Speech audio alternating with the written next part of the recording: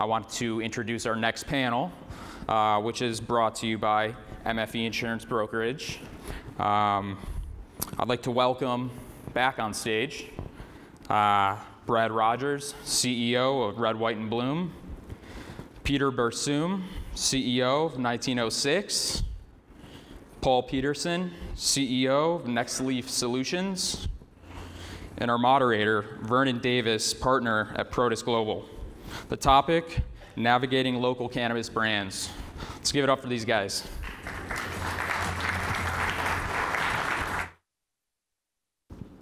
I'm Vern Davis. I'm partner at Protis Global, and I've been involved with brands for uh, 30 years uh, over time, building national brands, regional brands, uh, building local brands. I come out of the adult beverage industry years ago.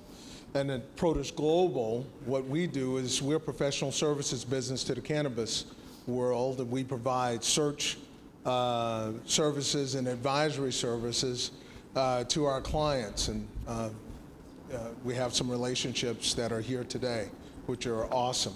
You know, you're investing in people and you're investing in brands, and that's how you execute the plan, right? Have great people, great brands, great companies.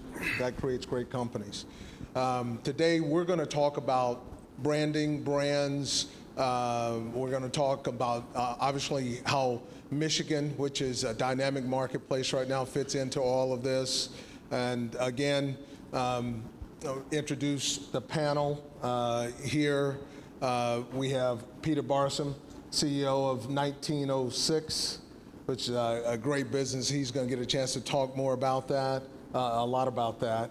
And uh, you just uh, saw Brad Rogers uh, here at Red, White, and Bloom. And he's going to continue that conversation with you today. Um, and, obviously, you got Paul Pedersen of Nextleaf. And uh, uh, real excited to talk with Paul. He has a very interesting business and uh, maybe a little different than some of the businesses that we've been talking about. So I'm really excited about that. Um, that's great. So why don't uh, we start with you, uh, Peter, and just talk about 1906. Introduce the, the audience to 1906. Sure. Uh, thank you. Um, 1906 is one of the leading cannabis edibles brands, uh, located right now in Colorado and expanding out to Massachusetts, Michigan, Illinois, and Ohio.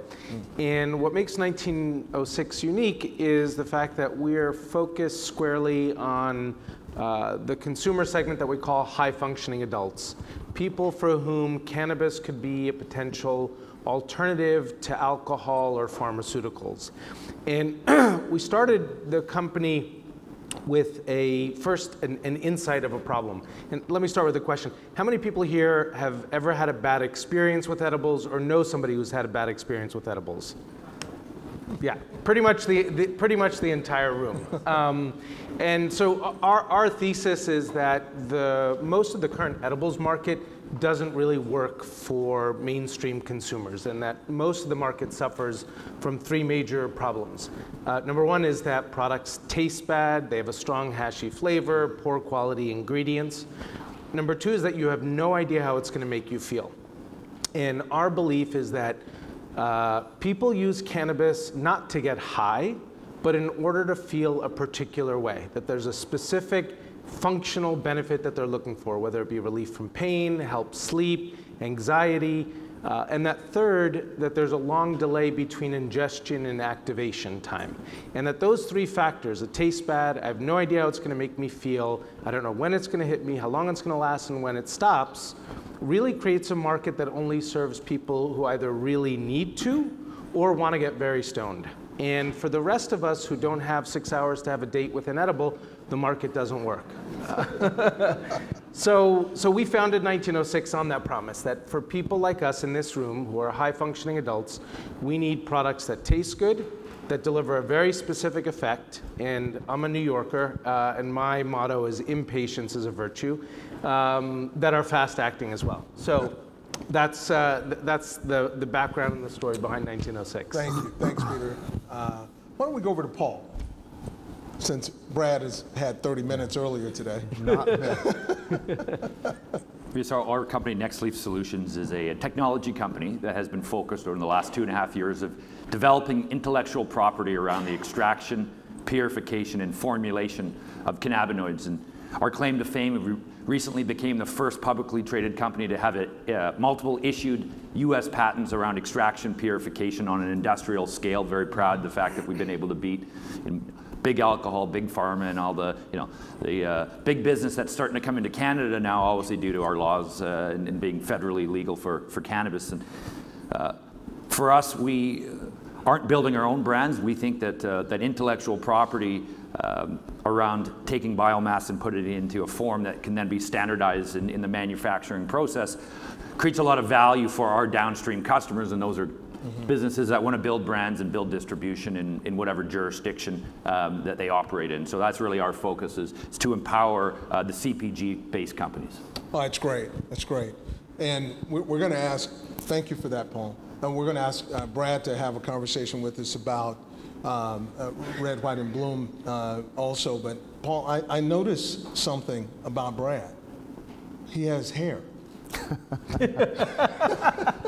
It's a wig. You didn't, get the, didn't get the memo. You're supposed to cut that off last night. Come on. He's uh, Brad's uh, bringing some diversity to the panel here. Looks like. So. Come on. Go ahead, Brad.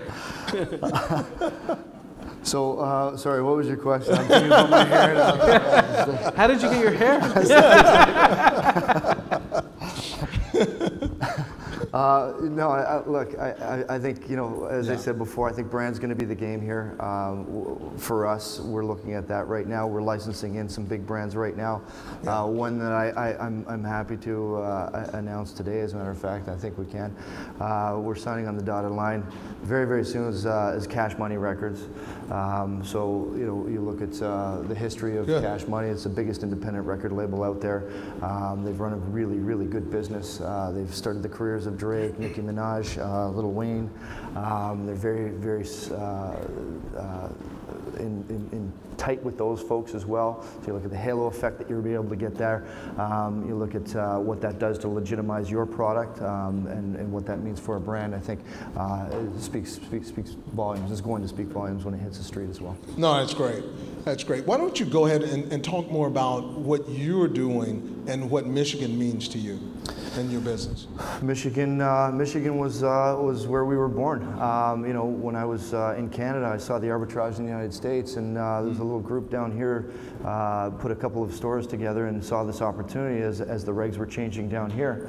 Um, and and I, the plan for, for, for my company way back when was to was to delist from the TSX and come down into the, CSE and, uh, and, and, and come into the United States and, and take take Michigan as our as our toehold into the U.S. market and bring what we've done IP and, and, right. and uh, standardization and bring that into Michigan uh, and roll that across the United States. And so, um, you know, when we started here, we saw the framework in terms of how they were going to roll it out. You know, a responsible release to market.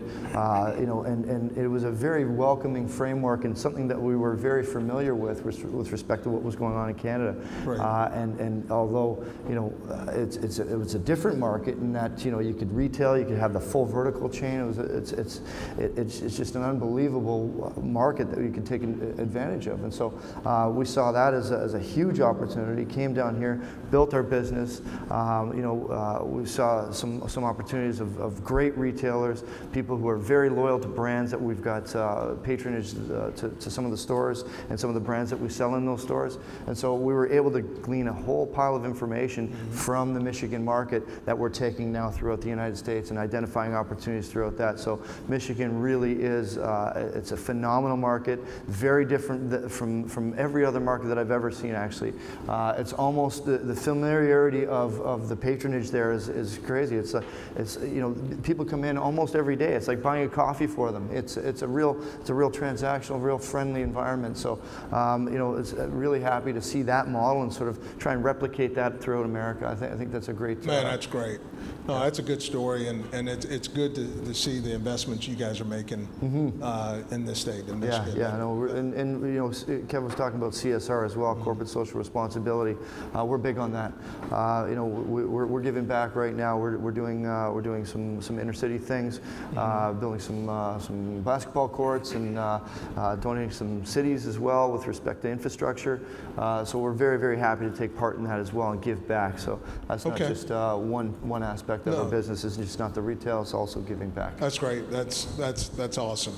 Um, you you have uh, some real interesting things going on in 1906, Peter. So uh, tell me about you know branding in a crowded marketplace, and and and what does branding mean to you and your business? Yeah.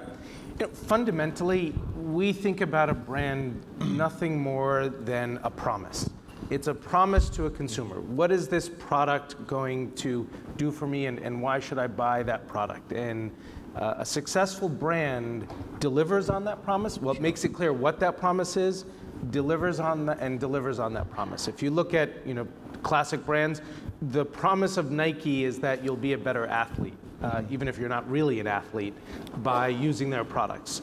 The promise of 1906 is around that functionality, that cannabis can be safe, accessible, and that uh, you ought to have pleasure in your life. Our six experiences that we have kind of focus on the core things that people either use cannabis or other substances for. So we have a line for energy called Go, we have chill for relaxation and anxiety, bliss for happiness, uh, midnight for sleep, Genius, which is our latest product that's coming out uh, for cognitive focus, and then Love for uh, arousal and sexual health for both men and women. so it's very clear from both the naming and what the promise is of, of what that delivers. Um, and so it's more, we often think about brands as okay, what's the label, what's the package? Uh, I really think of it as it's all of that uh, in terms of what the promise is that, that the consumer is. And then, secondly, uh, as we've seen, there's also a often what consumers want is what's the mission of the company as well, not just kind of the brand and the product, but what's the mission. And 1906 is the name that comes from the year that the Wiley Act was passed, which effectively started the era of prohibition of cannabis. And our mission is to bring cannabis back to its pre-prohibition status and highlight the failed century of the war on drugs, uh, particularly on communities that have been most negatively impacted. Um, so as, as Brad said, that social mission is a big part of who we are and what we do. Um, we've made a commitment that 10% of our net revenues go back to our communities in the form of 5% of our revenues go back in terms of research, and 5% go back uh, in terms of the communities that we operate in. And in particular, we're really proud of a program called uh, Grow Cannabis that we've developed, which stands for Generating Real Opportunities for Work in Cannabis. Um, much of the industry and press focuses on what the color or the diversity is of the license holders are. And while that's an important element in what the composition of the industry is, there's an equally important element is what's the composition of the workforce as well. This industry will be creating tens of thousands of new jobs. And those who have been most affected by the war on drugs are those who have been formerly incarcerated individuals. And so we've committed uh, half a million dollars to start up a program that will actually provide two months of fully paid training for individuals who have been formerly incarcerated for drug offenses. Um, and then after that, uh, they'll be teamed up with Vangst, which is one of the large staffing agencies, in order to get jobs in the industry. And so that's one of the ways in which we're giving back to those people who've been most directly impacted by, uh, by the unfortunate uh, prohibition of, of cannabis over the last 100 plus years. No, that's great. That's much needed, and I, I think that is well directed. Paul, let's talk about, you know, uh, Peter really talked about the promise of the brand and, and the deliverable of the brand, and, and he, he takes us through uh, the mission of each one of his products here. How does your business uh, enhance that, affect that, and, and how, does, how do you define that marketing? Yeah, no, great question. Yeah. I think first and foremost, we always look at brands as more than just a label on the uh, the outside of the package. It's what's inside the package that, that really counts. And, and I think if you look at great brands, consumer brands, PepsiCo, Budweiser, they all have one thing in common. Doesn't matter what country you go to, what's in the package is, is, is standardized. It's the same in any jurisdiction, right? They've got a formula, and, and that formula is, is, is formulation is, is used when these products are manufactured. That's the challenge in cannabis, and the challenge is especially when you're dealing with the herbal form. Uh, it's almost impossible to have a standardized experience for the consumer. For us, we're, we're only focused on manufacturing oil-based products. And for us, we're not focused on developing our own brand, so we take a little bit of a different approach in the sense that we really believe in, in, in partnerships and, and not trying to do it all. Uh, I think cannabis is a very unique industry in the sense that you hear a lot of talk around vertical integration. And you know, say this a lot. You know, PepsiCo doesn't grow its own sugar cane, doesn't doesn't have its own stores. They do one thing, and they do one thing better than anybody else, and that's uh, branding and distribution of their formula. And and so that's really our our mandate as a as a business is is that we want to be the absolute best in in developing and and owning intellectual property that goes into uh, producing at scale uh, oil-based products that can then be manufactured into whatever formula uh, our clients want to take to market. And, and we really believe that we can empower uh, some of the great uh, CPG brands that will ultimately come into the cannabis industry, whether that's through CBD-based products or THC-based products. We think that, uh, you know, the other thing that people forget, and, and I think Canada is a great example of this, we legalized cannabis federally in 2013. And what we've seen in Canada, we've seen Altria, we've seen Constellation Brands, we've seen Imperial Tobacco, you know, big tobacco, big alcohol coming into to Canada. And it's not that you know these companies really love Canada; it's that they love um, a, a, a federally legal jurisdiction. And you're going to see exactly the same thing in the United States. And um, we think that that uh, when when you legalize something federally, the biggest thing that you deal with then is FDA approval or federal approval, and, and I think uh, you know that's something else that really goes into a brand. It, it's not just how you make it, it's not just the package, but it's it's um, regulatory compliance, and, and I think that's going to be the biggest um, disruptor in the United States uh, when uh, you know the FDA.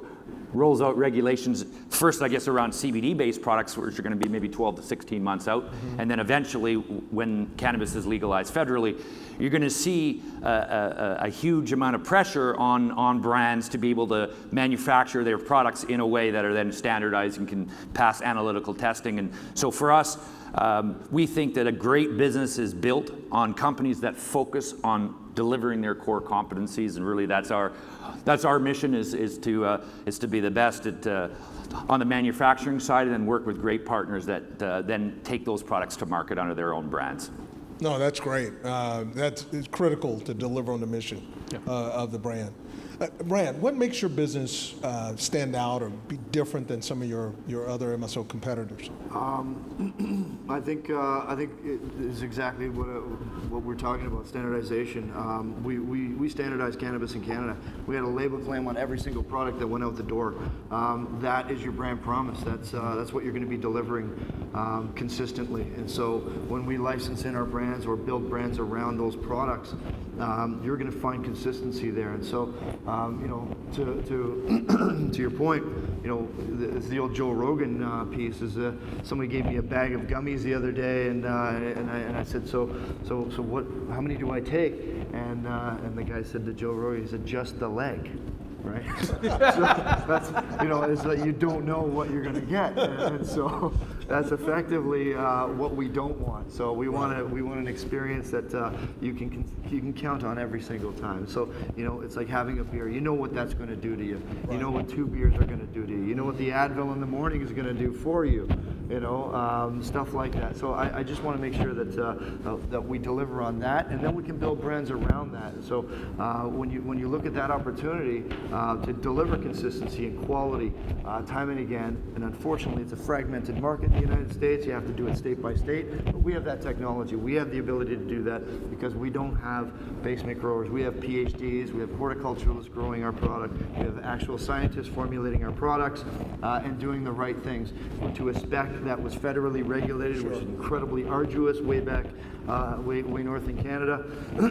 uh, but we met those specs. And so those, those, those pharmacopoeia demands right now aren't here in America as we sit, but we're bringing them here. We're setting the bar. We're bringing those here. And we expect those to come, but we're going to be there when, when they show up. So that's effectively what we're going to be doing. And that's how we differentiate ourselves just from the outset. And then when you look at the brands that we're licensing in right now and bringing to, to market, um, these are billion dollar plus brands. Um, and it's very exciting for us to be able to represent those brands. And why are they coming to us? Because we can deliver that consistency and that brand promise, and we can take care of those brands. Right. Well, that's great. That's, uh, that's all good news, It is. Brad. That's all good news. That's great.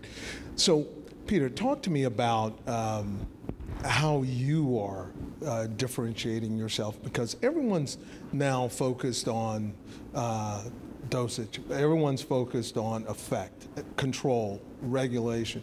What makes your, your business different and what makes your business better? Yeah.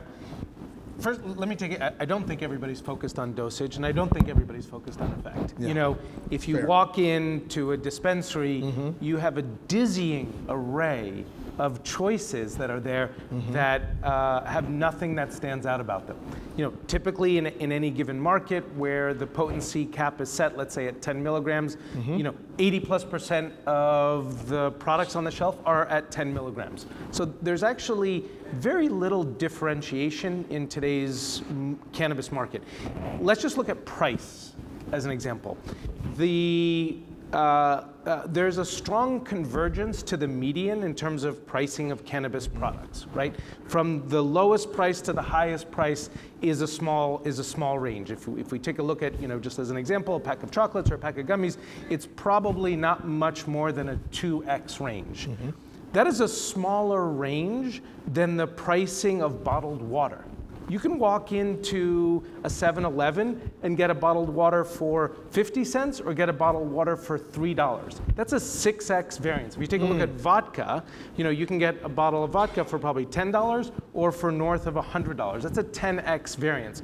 And those are vodka and water are two relatively undifferentiated uh, products in the bottle as well. But when you look at cannabis, we have a very, very small range of pricing and a very small range of differentiation.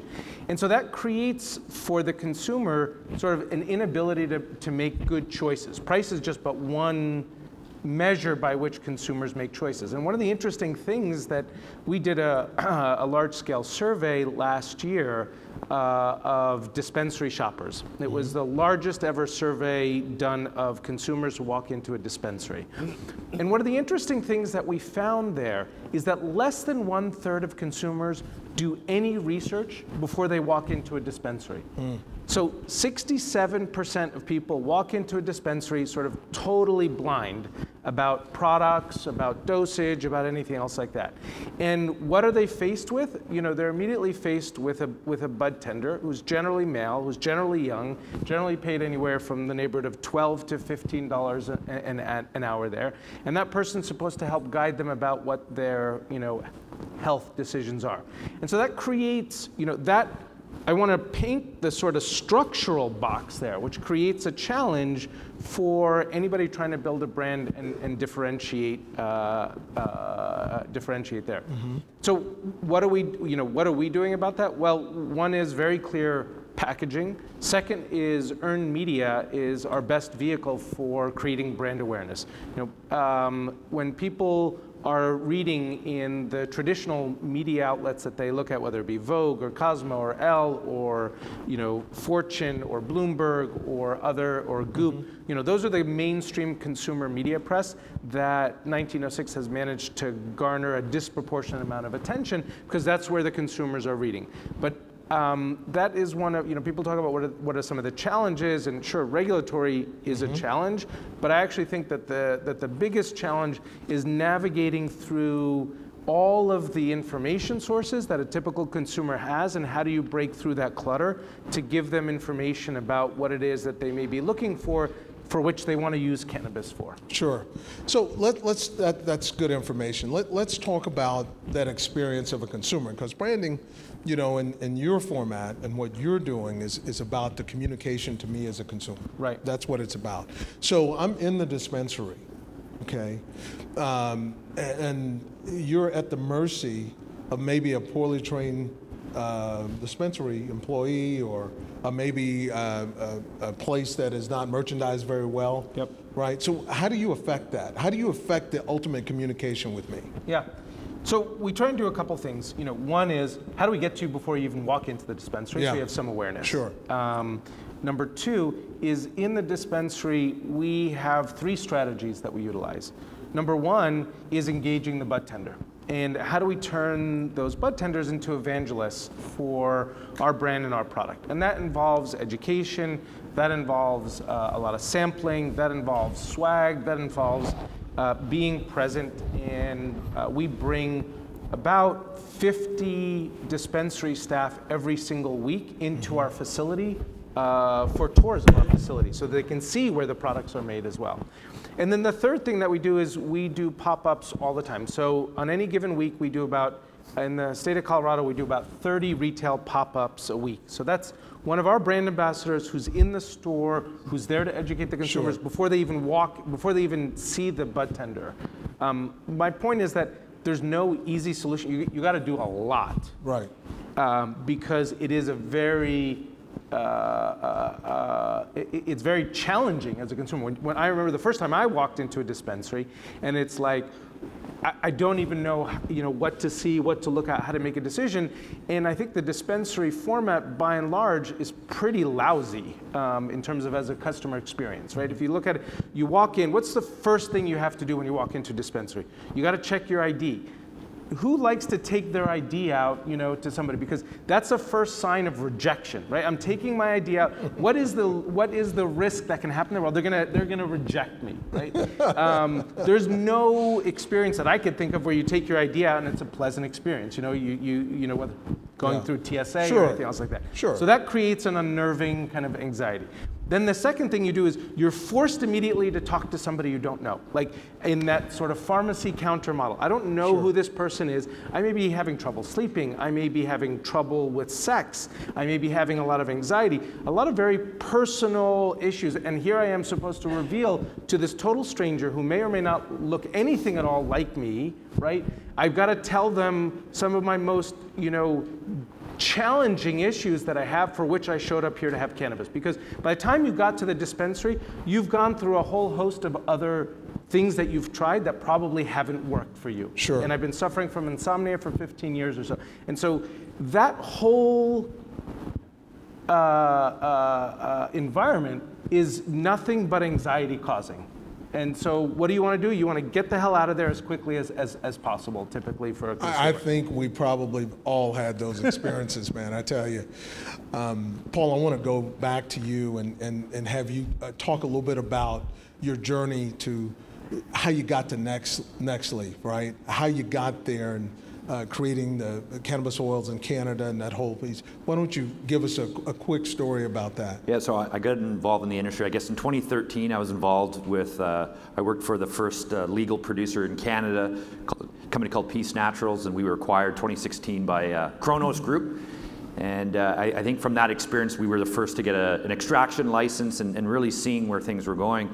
Uh, when we left the company, we said, let's, let's start a company and only focus on um, extraction and manufacturing. Let's forget about cultivation. Let's forget about branding and retail. Let's, let's take, a, take a really narrow focus on this industry. And found some guys uh, that had been doing molecular distillation with cannabinoids. They were, they were clients of my fiance out in Vancouver. She's a, she's a cannabis lawyer.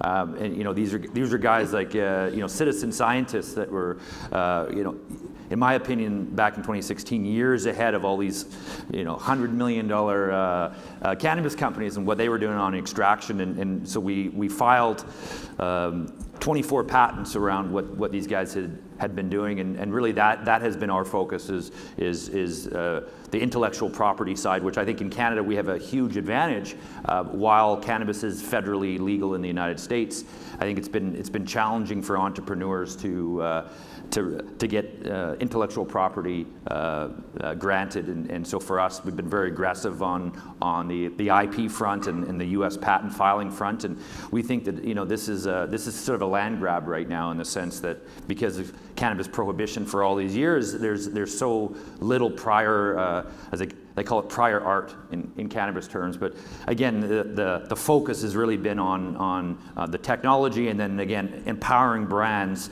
uh, for, you know, through our downstream uh, customer base and, and really being that kind of manufacturing hub uh, for their products. No, that's great. That's a good story. I, I love that story. Now, as Brad promised you all uh, when he was up here talking about RWB, and that we'll have a chance to ask some questions. So we got a couple minutes. W- You know, why don't we we ask some get some questions from the audience to see if there's some things that you guys want to know that we didn't cover up here in the short 30 minutes that we uh, we were up here today. We'd, we'd love to get your questions. Please. I have a question for. Okay. I am a parole officer with the state of Michigan. There you I'm- I'm a parole officer with the state of Michigan. I'm interested in your Give Back program in which you offer job opportunities for individuals who've been incarcerated. How can I follow up and get additional information regarding that? Yep, come up and see me, and uh, happy to talk to you more about it in detail. Thank you. Thank you. Great question.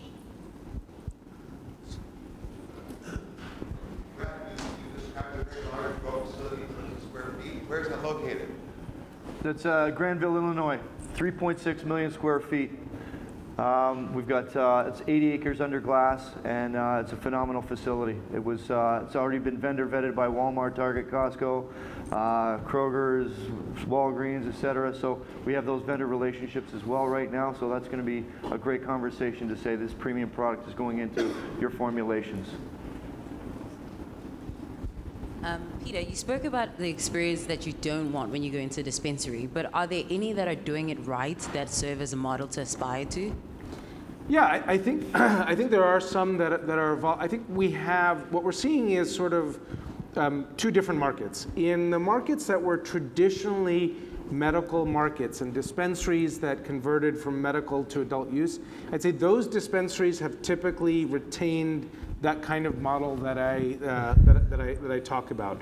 Um, what we're seeing is in newer markets that are opening up and, and newer dispensaries and also all of the new capital that's coming in, people are doing it a little bit more thoughtfully about what that customer journey is. Um, You know, because if you look at it prior to this, all you had to do was just have weed and you sold it and you made money, right? It wasn't, you didn't have to be very you don't have to be very thoughtful or do much uh, at all. It's just, what do you have? Weed. Right. Okay, great. Uh, you know, here's your dime bag and, and, and walk out. As consumers have more choice, as consumers have more choices, and also as the demographic of the cannabis consumer is shifting to be more female and particularly also more senior, which is the 60 plus uh, segment is the fastest growing segment of cannabis consumers. Those consumers are going to demand more, and there are going to be players, you know, like 1906, that will deliver a much better customer experience in that shopping experience. And it won't be as simple as, well, all I need to do is just have a license, have a storefront that says buy weed, and I'll be successful. So uh, I, th- I think that we will be continuing to see more and more innovations in that customer experience, um, but it's still a long way to go. It's good. More questions? Gentleman in the back. Hi, thanks a lot. Do you guys have any insight into what's going on with the world of oh, display advertising online? The world of In terms of, you know, Google's made it real difficult for cannabis right. Yeah. to participate and is coming from CPG into this new world. What kind of things are you looking at? Display advertising Yeah. in cannabis. I think my opinion is you're going to continue to see issues with Google and, and Facebook and all these display ads online until cannabis is federally legal. And if you believe what I believe, I think we're 2025 in the United States until that happens. And I, I just think that's inevitable when you're in an industry that's federally illegal. Uh, yeah. unfortunately, these big companies are going to kind of follow what the federal government is, is, is saying and, and, and what's on the books. Good. Yeah, I think it's I think it's you know very difficult and very challenging uh, as a brand to create a digital a strong digital presence without the opportunity to do paid. So um, we're going to be trying something in the next couple weeks uh, in terms of how to do paid advertising. If it works, you know, we'll we'll blow it out. I don't want to kind of reveal the, the secret. So Come on, uh, tell us. Come on. well, kind of tempted to, but kind of not so, because it could totally flop. So we're, we're gonna. I mean, I, I think it, you know there there are there are things to try, and it forces you to be innovative. And um, we're gonna try some stuff out using not 1906, but uh, uh, I'll, I'll give you a little hint. I mean, what is the number you know the number one or the number two things that people like on social media? It's pets. Um, so we're going to be trying a couple things with using Okay. animals as spokespeople for our brand, uh, spokes dogs and, and, and spokes cats for our Interesting. brand as a way to do paid. So um, yeah, I'll let, I'll let you know how that goes. That's fun. that is fun. Yes, ma'am. Um, I, um, my name is Christina Montague, and I own Huron View, uh, a medical marijuana dispensary in Ann Arbor. And my biggest concern is that it's so hard being an African-American woman to get through the door to get my business financed. I want to open a recreational, I want to open up a, a grow, and I want to open up a process. And I'm serious. I went through a whole bunch to get my medical marijuana license. And I just want to be treated fairly. I heard somebody earlier say, oh, just come on in. And I have so many ideas and so much. And I have so many other African American women who are up here and can't get that get that foot in the door. I, I started this business, I refinanced my house, took my 401k, and I've done it. But I want to be treated fairly, and I want the opportunities that the white males and the Chaldeans get when they come in the door. I want that type of service, and you can look at, I have no debt. I've been paying as I go. I want to just offer a round of applause for how Yeah, far you've come. Absolutely. This is, this is not an easy business for anybody, in particular for women of color who, uh, for which the number of dispensary owners and operators we can probably fit into on this stage across the country. So um, you're raising an absolutely important point, and I think one of the biggest uh, problems that we have in the rollout of legalization of cannabis is that we haven't done more to not just you know award licenses, but provide a far greater infrastructure to support uh, women of color uh, and other small business owners in order to be able to stand up a legitimate business in this industry. We've licenses trading for 20 to 100 million dollars, a piece of paper, right? Um, which is, you know, in, in my view, egregious, uh, and we're not reinvesting that back in order to support uh, business owners like yourself uh, to get your business up, up and running. So thank you for sharing your story with us. Thank Again, you. That was a, a great question and a great answer, Vern. I think we're going to uh, stop it here and get back on track, if you don't mind. So I really want to thank this panel. It was a fantastic one. We went a little bit over, lots of great questions. Let's go ahead and welcome the next panel up, if you don't All mind. right. Thank you all. It's great.